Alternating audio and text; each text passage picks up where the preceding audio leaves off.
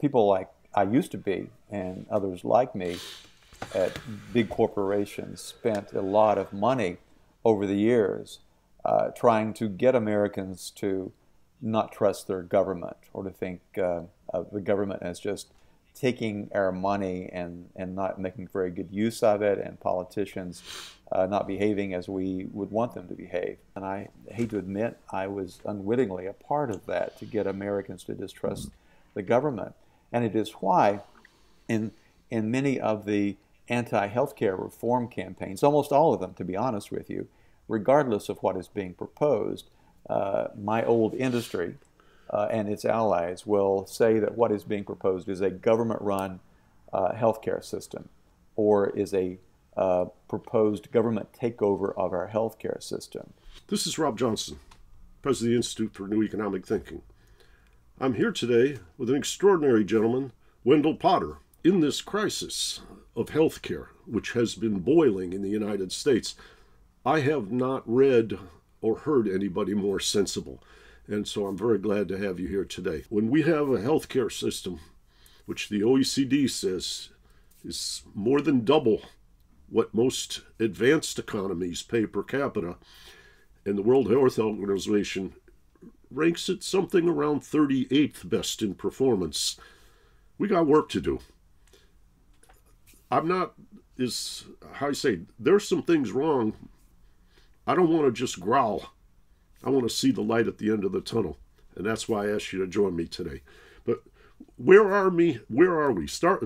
My dad was a doctor. Let's start with diagnosis. Then we'll get to remedies. Where are we now? Well, we're we're very much in a in a crisis mode. Uh, we all know, obviously, that we're in a pandemic, but we uh, are also in a in a healthcare crisis that I don't think many people are aware of, um, and it uh, it shows up in many different ways. The companies that I used to work for are enormous companies now, far bigger than they were when when I was there. Uh, they've grown so big largely because of public resources that, in a, in a sense, the government is bailing them out and making them the monsters that they are now uh, and paying very little attention to what they're doing. Uh, one of the ramifications of, of uh, the growth of these companies uh, and, frankly, some of the work that I was doing before I left the industry, uh, people are um, functionally uninsured in this country, people who think they have health insurance, but millions and millions and millions are, are finding out when it's frankly too late that their health insurance that they and their employers in many cases have been paying a lot of money for is just completely inadequate. And they, in many cases, wind up in bankruptcy or in debt for the rest of their lives, even with insurance. Mm. So it's a lot worse than it was when I left in many regards. Uh, I think there is some hope, possibly, uh, even in the private sector, that some things can change that will disintermediate, if you will, uh, the big companies that I work for. They are big middlemen companies that extract enormous sums of money. Uh, in recent uh, years, the big health insurers, and I use that word insurers um, deliberately, but it's not really accurate anymore.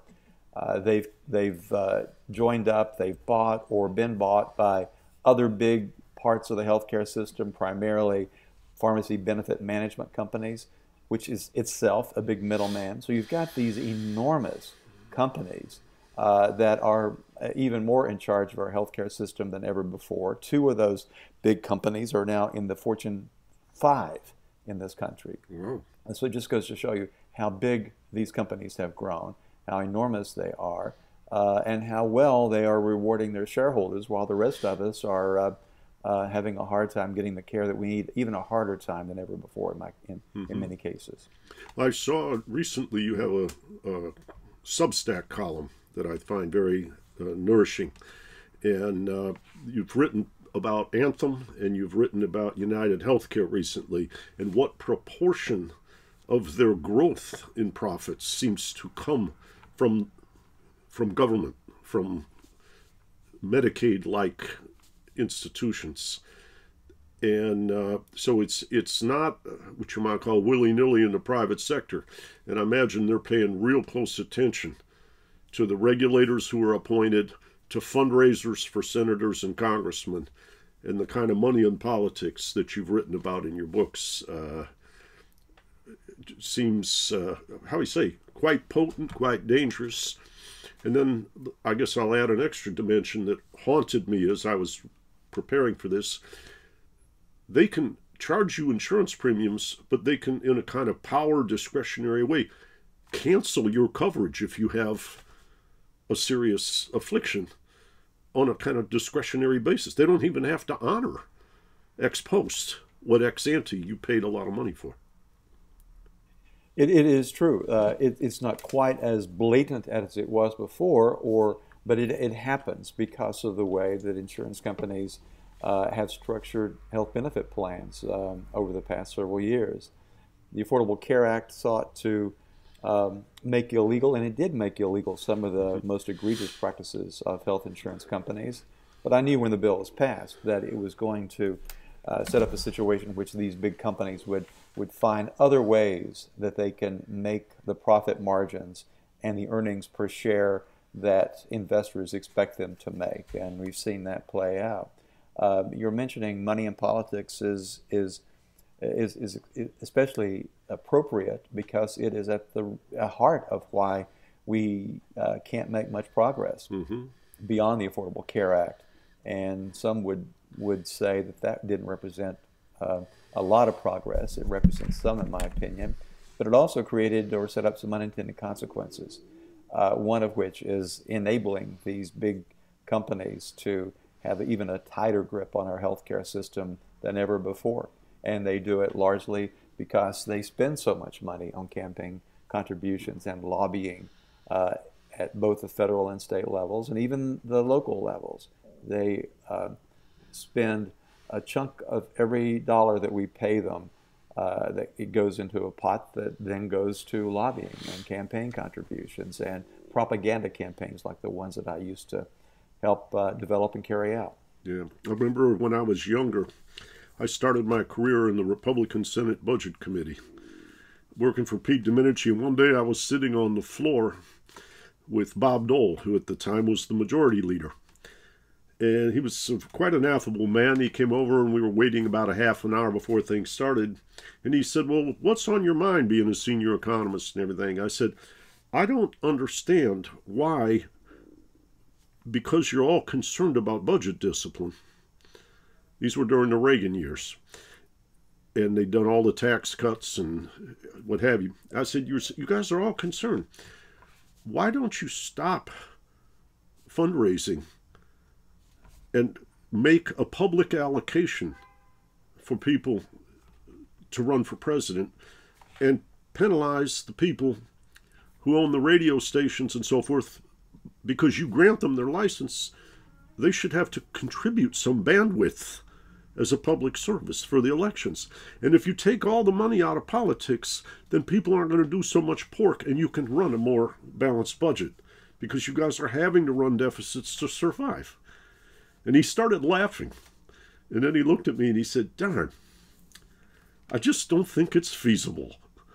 And uh, but it, but it was kind of he was playful about it. He wasn't offended, and uh, but there it just felt like the pork was running wild and this is 84 85 86 and uh, and it, it continues to run wild i mean there have been some uh, uh, some some things that have been done that uh, in that might limit the pork a little bit but not not very much mm-hmm. i was a reporter in washington for a, a few years uh, just prior to that time i was um, uh, covering Congress and the White House were Scripps Howard newspapers back in the in the mid to late 70s, and Howard Baker was the minority leader mm-hmm. and then mm-hmm. majority leader at that time, and mm-hmm. I got mm-hmm. to know him very well because he was from Tennessee and where I'm from, and um, at one point this issue came up in a campaign of his, and he said, and his opponent said, uh, that it, uh, it would be great if um, if we had a system in which no one could uh, give me money unless they could vote for me. Uh, and uh, if we had a system like that in which no one other than the uh, people who could vote for you as a member of Congress yes. or a Senate, yes. it would it would uh, it would it would do a world of good. We wouldn't see this uh, rush of money that flows into every campaign from out of state uh, to uh, to buy these elections. Yeah. I'll uh, I have to protect his name, but there was a former senator who was a friend of mine, and when he retired, I went out to lunch with him, and I said, "Okay, you know, why are you doing this?" And he said, "Because I can't look in the mirror." When I spend 70% of my time raising money all around the country and the world to do things that harm my constituents that elected me. And he said, I, it's, it's obvious that for me to survive, I've got to do things that damage my constituents. I don't want to live like that.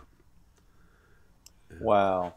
You know, that, that's, that's very interesting. I, uh, uh, I had I have sometimes said that when I finally decided I couldn't keep doing what I was doing uh, in the insurance business. It was when I looked in the mirror and said, "Who are you? How did this happen to you?" Uh, you this was not a career that you could ever have imagined, and certainly when I was a reporter, couldn't even comprehend doing what I ultimately wound up doing mm-hmm. as um, someone who's leading you know, the big PR shops of uh, within enormous insurance companies so that that's interesting. Just going to your uh, what you might call your life trajectory. My name's Robert Johnson, so they talk about the crossroads uh, in the blues music with my namesake. So that's that's what I'm I'm getting at. You have uh, this experience in a Republican family in Tennessee. Your father, I believe, had fought in the war, and then you go to college in that 60s era. You become a journalist. you the product is illumination for the population of what's going on, which would interest them, I would, I would say, in an idealistic way. And then you, you make the shift for public relations for, I think it was Humana and then Cigna and then you, after you do that, you live inside, you understand that, you break away. So I, I would say there are two crossroads I'm interested in. When you chose to go in to the insurance private sector, what was on your mind? What was the magnet? And when you chose to break out, what were the forces in play at that crossroad? You know, that, I've never been asked that quite that way, uh, and I will have to admit that uh, for the first question, it was money, uh, an advancement in a career, uh, maybe attaining a lifestyle that I uh, aspired to attain. Mm-hmm. Um, that was more than my parents could ever have imagined. I mean, I think that was probably more what was on my mind than anything else. Ultimately, later though, the reason I left that was I've it was a crisis of conscience. It was a realization that I was chasing something that was um, uh, would have embarrassed my parents. Would have uh, uh, they would have been so ashamed to a certain extent of knowing uh, what I was doing for a living and how I had changed from the, the you know the, the, the, boy who had grown up in their household. Uh, and I think that my coming from from that family from that part of the country played a huge role in my ultimate decision to, to walk away. I, I found myself in a situation in which I um, had to face people who could have been people I grew up with who were waiting to get care in, in barns and animal stalls. Um, and I probably wouldn't have had that reaction had I not grown up mm-hmm. in a, uh, quite frankly, a, a, um, a low income working class family, uh, uh, a farming family in, in, a small rural area of Tennessee. So, at some level, at this this second crossroads, which I think is is very tender, in it I think it has a lot to do with what you've done since. You reached a place of conflictedness between what you were being asked to do on behalf of the company and what the company and in the context of our political economy, was doing to people? That's exactly right. I, I had this realization that what I was being paid quite well to do in my corporate career at these insurance companies was the exact opposite of what I tried to do in my career as a journalist. And I mm. was always proud of that career, even though I left it at a fairly young age. I never wanted to, and never did, intentionally mislead anyone with anything that I wrote as a journalist. Never, to my knowledge, left anything out to obscure anything that was important or relevant, uh, just to make a point in any story that I wrote, or even any commentaries that I wrote. But I realized uh, that's what I was being paid precisely to do uh, in my job mm-hmm. at, at Humana and then, and then Cigna was to mislead people, was to present um, some facts and figures and purposely leaving some other facts and figures out uh, that, uh, uh, that, that were very important for people to know. And doing this to enhance shareholder value. That was exactly what it mm-hmm. was. Uh, that is the one thing that is most important for these companies. And it's not certainly unique to uh, the health insurance business, but if you are a, um, a, if you are an executive of a company whose stock is is on the New York Stock, if you're a New York Stock Exchange company uh, or publicly owned company, that's uh, for most of these companies, that's what drives them. And uh, I saw that um, up close. Yeah. I think yeah. that uh, the position I had gave me visibility into corners of the business that most people don't get. For that, there is there is that, and I just could not continue doing it. Mm-hmm. Uh, and looking myself in the mirror and and and and remembering who I was, how I was raised, and what I tried to do in my first career. Well, that's beautiful. I uh, I think there's there's a very interesting dilemma which I once heard you explore with Paul Jay on the Real News Network, and that was when you had this consciousness that things were off course in terms of a moral purpose. You said you realized that you couldn't stay and reform from within, that you would be distanced as opposed to going outside writing books, shedding light, carrying the expertise from your experience, which gives you credibility. But that was the only way to make the difference. That's true. I, I came to realize there is is not possible to change things from within these big companies. And I would go so far as to say even the CEO uh, and the executive suite really can't do that. Uh, if you're in a company that is large and has uh, uh, shareholders that essentially are large institutional investors. Uh, there is no way that you can change a company in a, in a way that is significantly different from what your your few competitors are doing. Mm-hmm. And we've seen that play out in just recent days. I've, I've, I've also written a piece about Cigna's recent earnings report or re- the report of earnings mm-hmm. for 2021. Uh, uh, Aetna more recently announced. And if you look at all of uh, both Aetna and Cigna's announcements, you'll see that they did very, very well in 2021. But uh, Wall Street wasn't happy with what they were saying that they thought they would be earning in 2022. So both of those companies got big hits on their stock prices mm. Uh, mm.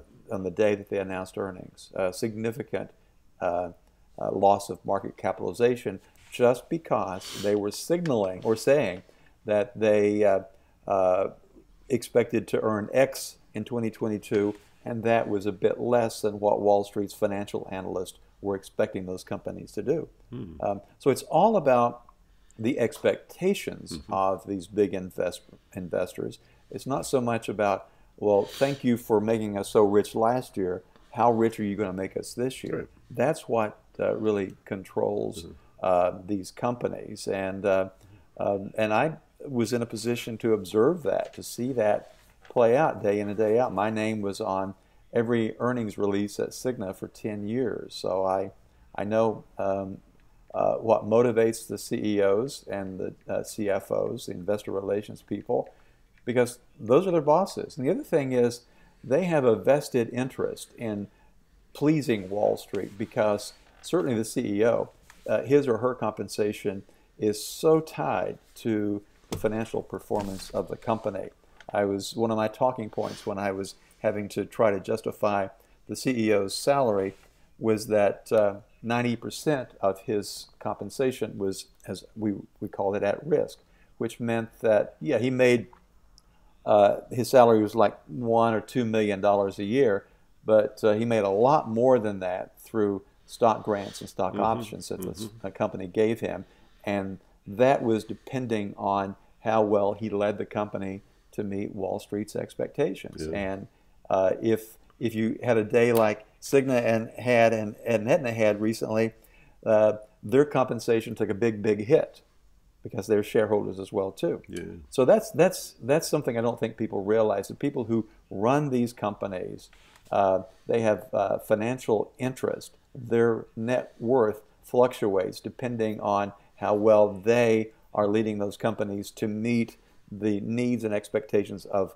of one stakeholder, and that stakeholder is the shareholder. Yeah, I always tell people when I used to work in the uh, I was in the hedge fund industry for a number of years, that the song that I thought companies should sing to themselves was an old soul song by the Shirelles called "Will You Still Love Me Tomorrow."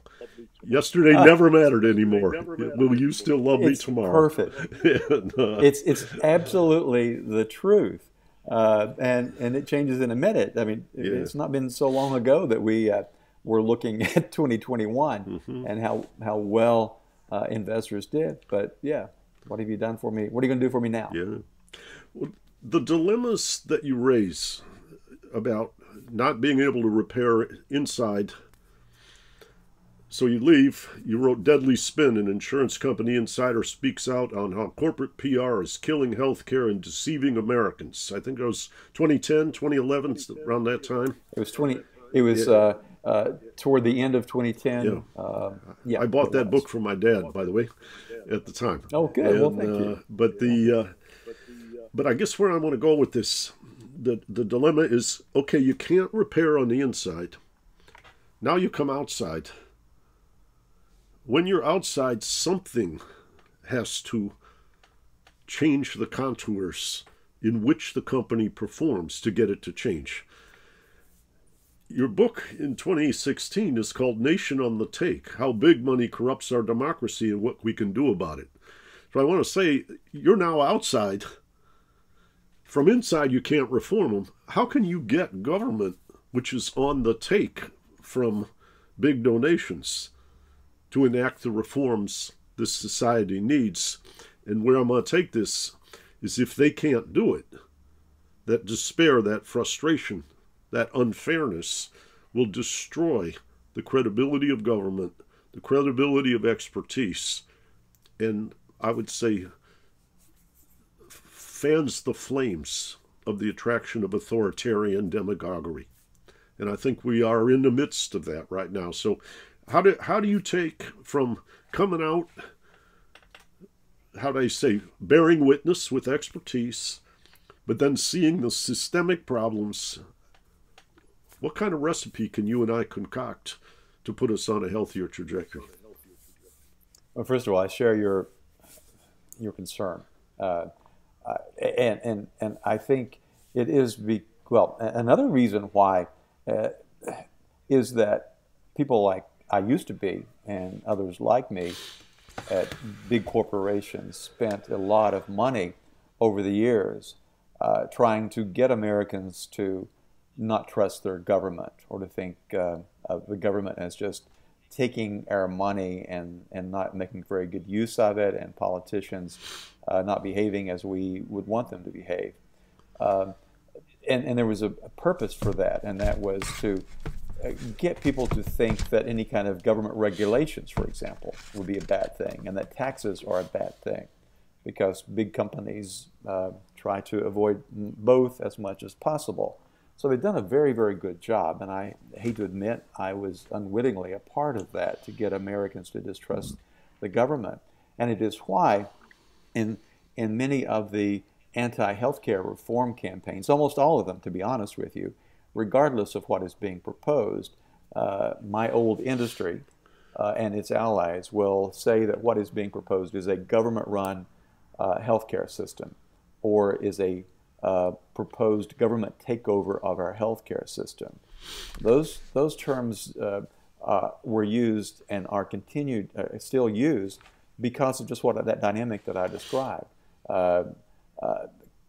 Big corporations have uh, really over decades got us to think the way we do about our government. Mm-hmm. And it's getting worse, as you said, because uh, the way that our political system has evolved, some to a certain extent because of Supreme Court decisions that have uh, made it even more uh, likely that big corporations will call the shots.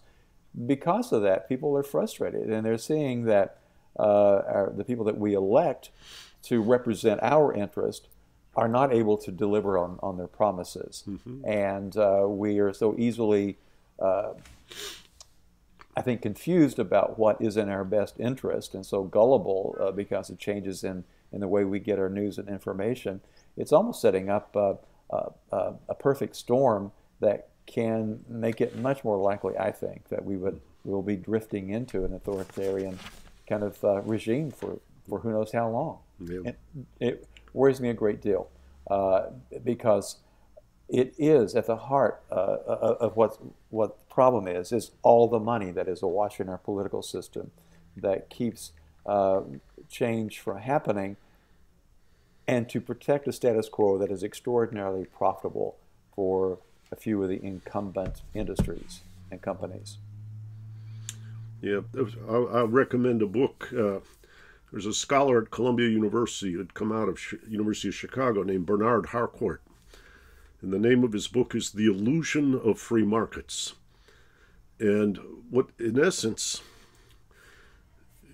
kind of the meta perspective is that capitalism gets its moral license from being embedded in a democracy. But when the institutions have to be managed, and the servant becomes the master. The contortions and the distortions don't look anything like that free market competitive model that's used in academic world to justify this system. Simplest answer is, or simplest window in is when you don't in, you don't enforce antitrust. Then you're not dealing with a competitive market any longer. But there are many, many dimensions in which you might call uh, contradictions to those underlying simplistic assumptions that makes it very, very uh, important that something be there, which we'll call government, to shape things. One of the things that haunts me and, and some of our friends uh, through Guy Saperstein have been able to explore is the notion that the left has lost confidence in government. It used to be there was a team that worshiped free markets, and there was a team that kind of what I'll call had FDR nostalgia, Lyndon Johnson nostalgia, and said, We believe in the government, a mixed economy, the Polanyi's great transformation about creating balance. Then there's the free market people. There was a man named Stuart Zechman who was a musical uh, writer. And Carol uh, Avedon, I think, shared with us that he had done a podcast years ago where an Obama official who was unnamed was on Politico. And this Obama official said, You can't pretend we're in an environment anymore like Franklin Roosevelt.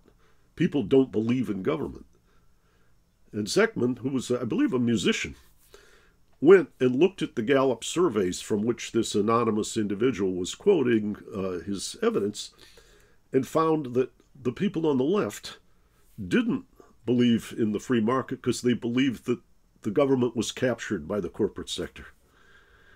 And I remember just feeling like how do you say, understanding the disparagement of government or the uh, notion of inefficiency that came from watching the Soviet Union or uh, part windows of Maoist history in China got transformed into disparaging a necessary condition for a healthy political economy in the United States. And I, I think I, we got a lot of work to do now. We really do, and I think there's uh, there's reason to have that concern if you are on the left of seeing just how big corporations uh, and large special interests have have captured government, have captured the the uh, the regulatory apparatus, and certainly uh, control the, the, electoral process to a certain extent, to a large extent, more than I think most people realize, because of the way that they can just uh, pretty much call the shots when someone's running for camp for a, for elected office. Uh, uh, and and certainly through the enormous sums of money that are spent to influence public policy. When the Affordable Care Act was being debated, uh, the uh, pharmaceutical industry spent more during that time lobbying uh, Congress and the White House than any industry had ever spent uh, on any prior legislation. Uh, but we're seeing that now, as, you know, those records are being challenged just about every year um, as members of Congress try to look to where do we go from here. Um, and I think uh, progressives are seeing that even at the state level, where there has been hope that maybe uh, progress could be made there, um, those those hopes are dashed. But and again, it is because of money that is uh, controlling the the actions of the people that we vote for. Mm-hmm. Well, in your recent work, I know you're starting, how do I say, activism on a number of fronts that you'd shared with me uh, in an earlier conversation. Center for Health and Democracy, Business Leaders for Healthcare Transformation, and uh, one, I think you called it Loops or Lupin. Uh, what was it? Uh, lower out of pocket now. Yeah, lower out of pockets now. Yeah, the acronym yeah. is LOOP. And and so I can see, how would I say, you're not giving up the fight. We talked a little bit from a kind of what I might say mildly despondent perspective of capture and the discouragement that Zeckman uncovered. What are you What are you doing in these organizations to uh, to carry on? Well, um, they are distinct. One, uh, I'll start with the business group first. Business Leaders for Healthcare Transformation seeks to bring the, the voice of, of business leaders, uh, particularly those uh, uh that are concerned about uh, the cost of health insurance or providing coverage to their workers, and, and also many employers that just have long ago been priced out of the uh, health insurance market. They can't. They can't afford to offer coverage to their workers. So that is an organization that tries to make sure that policymakers and the public broadly understands that, that there is a large swath of uh, our business community that, that is not in league with the U.S. Chamber of Commerce and outfits like the National Federation of Independent Business, which purport to represent the interest of, of businesses in this country. They don't. And I know that because uh, in my old job, I used to work uh, very closely with those organizations to get them to carry out our propaganda campaigns. And they'll do it for a dollar, you know, for well, more than a dollar. Uh, it costs quite a bit to get those uh, organizations to carry water for you. But that's what happens. So with that organization, we are looking to bring the business voice to helping to find some solutions to make our healthcare system more rational. Center for Health and Democracy, the word democracy is very important for the reasons we've, we've been talking about. Uh, what can we do through that organization to uh, help people understand just how uh, our political system has been taken over by the special interest, the big corporations, the big industries. Uh, and that's why we have this healthcare system that we have and why it is so hard for those that we vote for to make uh, any improvements in it. Uh, we, uh, as part of that work this year, will be looking at campaign contributions at both the state and federal level to show, for example, which Democrats are taking money from the political action committees of the big companies like the ones I used to work for. Uh, just within recent days, we saw that my old industry, uh, the health insurance business, through one of its front groups called the Better Medicare Alliance, uh, uh crow about getting 340 members of Congress to sign a bill, uh, uh, sign a letter to the Secretary of HHS and the administrator for the, the Center for Medicare and Medicaid Services to protect Medicare Advantage to make sure that that is funded uh, because Americans love it so much. Uh, that's an example of how they are able to get politicians in their pockets. They gave money to these uh, members of Congress, Democrats and Republicans alike. Uh, it gives them the opportunity in the industry to say this is bipartisan support for Medicare Advantage. When what's really going on here is uh, keeping a cash cow being fed the Medicare Advantage program in particular is the new cash cow for these big companies. And that is where, in many cases, we as taxpayers are bailing out these big insurance companies. They are no longer growing uh, on the private side, on the commercial side. In fact, uh, their, their membership in the uh, employer sponsored plans and other plans that people buy on their own has been diminishing for years. Now, most of their money is coming from us as taxpayers. Mm-hmm.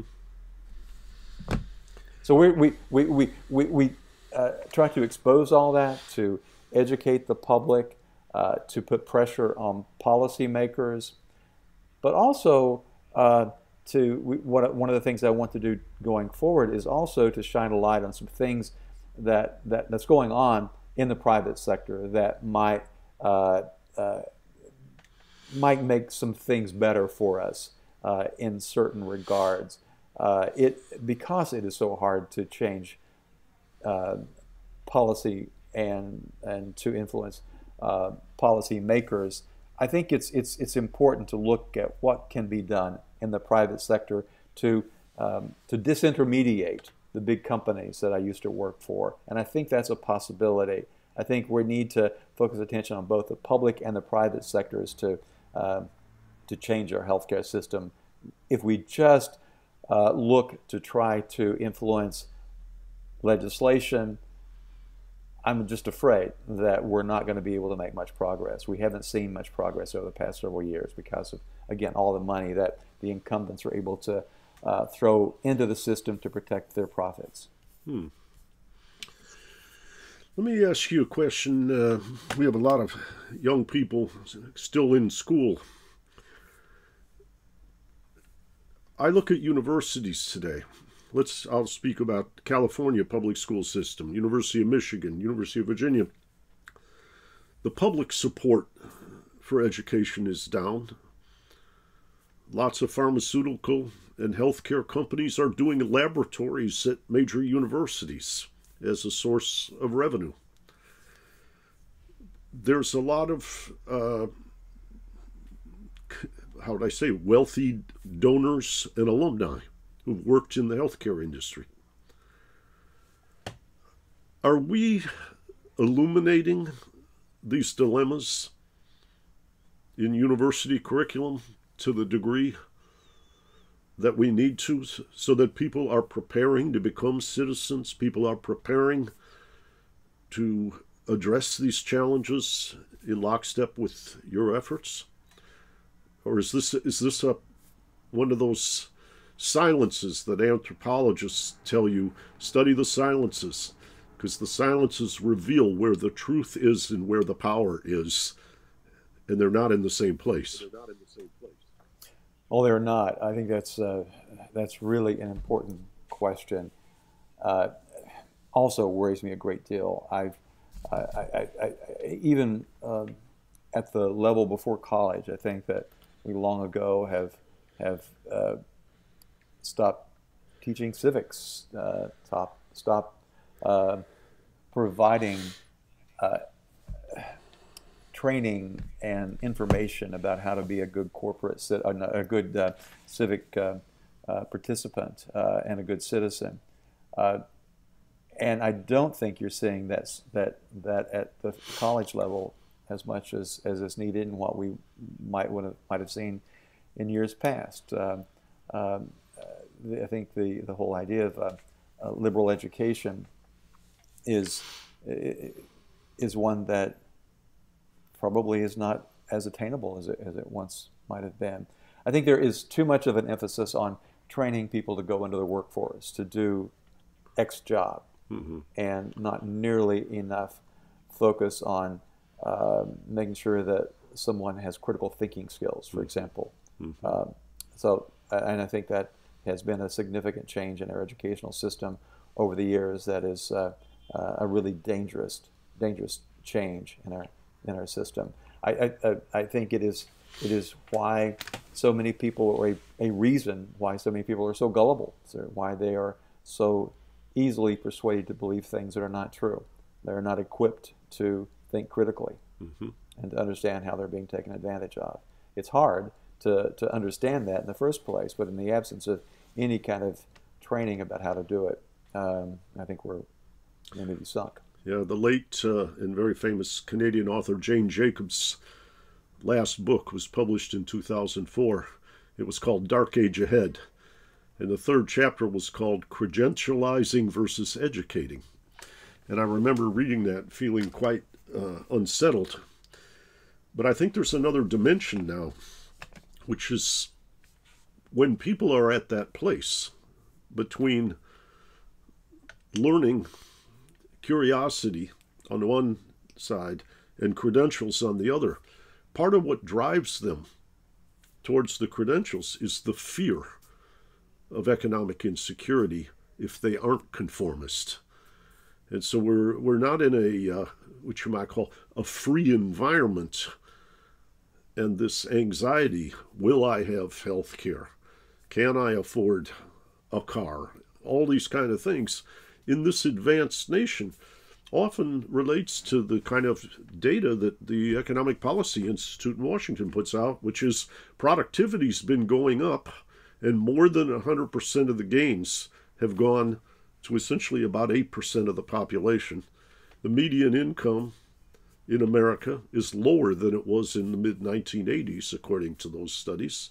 And so something's happening in terms of distribution inside that's heightening fear. And I remember uh, there's a wonderful psychologist named Howard Gardner, who I've never met at Harvard, and he wrote a story once in the Washington Post about why cheating is so rampant at his university called Harvard. And he said, You'd think these people are already on the conveyor belt to success. But he said the stakes between being in the one tenth of 1% and even in the 10 to 20th percent were so high that many people took the risk of cheating and being caught in order to which you might call propel their their credentials and record to a higher level. And I thought that was that was really an interesting symptom of the anxiety which young people face in the world today. I think you're right. I think that, that, that uh, one thing that might seem and hopefully could counter that uh, is, from what I am hearing and reading, maybe more uh, of a sense of social justice among millennials and people who are younger, and maybe less uh, a feeling of being driven to uh, have a house that's bigger than our parents or uh, the the you know the the biggest most expensive car model. Uh, maybe maybe that can help counter that, but I think it, you, but I think it is is, is absolutely right. The, the in, economic insecurity is uh, is a very big thing and a very real thing at all levels of our society, unless you uh, are pretty well assured of of um, uh, being left a lot of money by your your parents, uh, and it also is leading uh, leading I think to um, something called uh, diseases of despair in this country, in which people are, um, are almost hopeless. they they can't see how they can get ahead, and Uh, they they work in many cases two or three jobs, and uh, it's just not working out for them. Uh, they're not, and, and, and they're seeing things on, social media and on TV and other other traditional media about uh, things that others may have or that uh, they should have but they don't. And I think it just really uh, leads to these diseases of despair and contributes to the fact that our um, our lifespan in this country is actually shortening rather than, than, than increasing.